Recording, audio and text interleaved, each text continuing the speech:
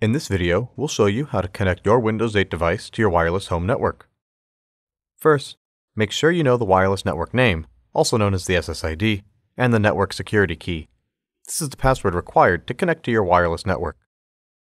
If you don't know this information, you should contact your internet service provider and obtain this information before continuing with the video. Your network may also require a username. You'll need to have this information if your network requires it. With your computer on and at the Windows Start screen, type Wireless. Select Settings on the right, and select Connect to a Network from the available search returns.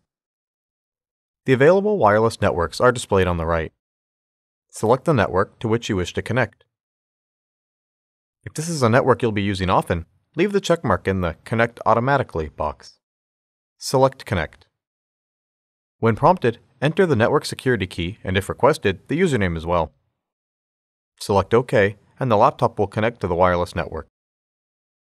You'll then be prompted either to allow or not allow sharing between this laptop and other devices on this network, and to allow this laptop to connect to other devices on the network such as printers. Read the available options before choosing one. For this video, we'll be choosing Yes, turn on sharing and connected devices for a home or work network. This allows you to share information such as pictures, files, and music with other authorized computers on the same network.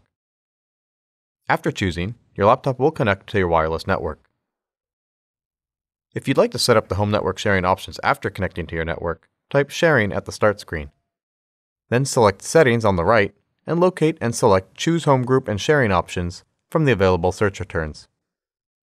Home Group Options allows you to decide how to share information from this device as well as enable the ability to allow media devices such as TVs and game consoles to play content from the Windows 8 device wirelessly through the network. Select Create to view home group settings. A membership password is also displayed that you can use on other computers on the network to connect with this device. For additional information, as well as troubleshooting of Wi-Fi connection issues, visit support.toshiba.com.